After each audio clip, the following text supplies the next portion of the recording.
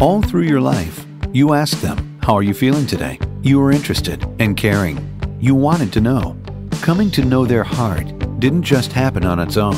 I'm Dr. Bob Garrett. I'm interested in your cardiac care. Tell me, how is your heart? I'd like to know how you feel today. Living well doesn't just happen. This is your time.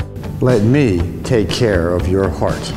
Call Dr. Bob Garrett or visit liveeverybeat.com.